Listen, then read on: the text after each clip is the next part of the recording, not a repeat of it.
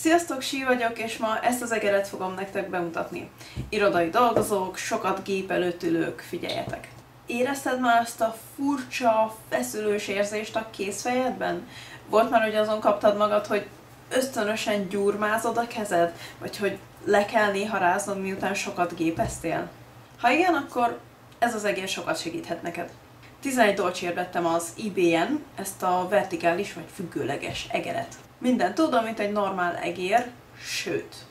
Wireless, az alján van egy bekapcsológomb, és iszonyos stylos módon ide rejtették a jel felvevő izét, amit a gépbe kell bedugni én a kínzáshoz értek, nem a kütyükhöz, úgyhogy ha ti tudjátok, hogy hogy szólítják ezt a kis bigyót, akkor írjátok meg a kommentekben. És üssed a lájkat, hogyha már te is vesztettél el ilyen bigyót. Szóval, van rajta bal és jobb gomb, és középen a görgető, plusz egy előre és egy hátra nyíl, és egy DPI gomb. Ezt már meg se próbálom megfejteni, hogy mi lehet ez, inkább csak nem nyomogatom. Ötleteket várok, hogyha ti tudjátok, hogy ez mire való. Adtak még hozzá egy távkábelt, amivel néha fel kell tölteni. Oké, okay. na de miért is kell, hogy egy egér vertikális legyen? Miért nem jó a normál egér?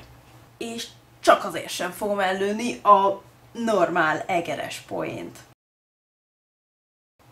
Hm, bár végül is pont most tettem meg.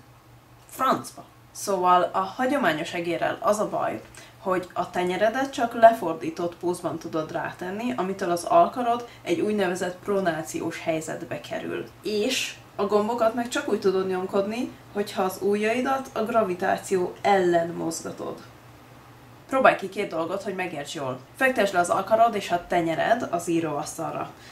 Most anélkül, hogy mozgatnád az alkarodat, kezd el simítgatni az asztalt a tenyereddel. Tehát csúsztasd jobbra-balra a tenyered. Most úgy tedd le az alkarod, hogy a tenyered kis szélen pihenjen. Most pedig játszd el, mintha morzsákat söpörnél az öletbe, majd a másik irányba. Magyarul csúsztasd ide-oda a kézfejed az alkarod megmozdítása nélkül. Melyik volt a könnyebb? A második, ugye? Játsszuk el ugyanezt a kattintásokkal is. Fektesd le a tenyered, és emeld a második és a harmadik ujjad, mint hogyha kattintanál. Most tehát kis szélen ugyanezt, Ugye, hogy könnyebb? Akkor szorosz föl 8 órával.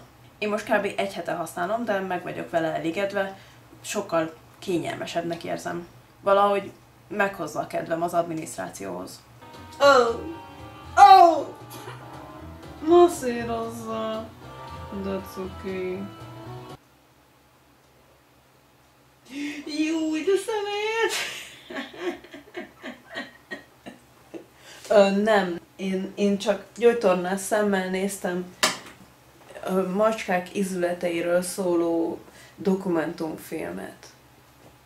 Ha kérdés van, írjatok, hogyha szeretnétek még ergonomikus kütyű videót, akkor is. Üssed a lájkot, hogyha értékeled, hogy dolgoztam ezzel a videóval a szabadidőmben, amikor macska ízületi videókat is nézhettem volna. Puszillak titeket, és találkozunk a következő videóban. Nem, nem ez, nem ezt szoktam mondani. Puszilak titeket, és találkozunk a következő mozgóképen.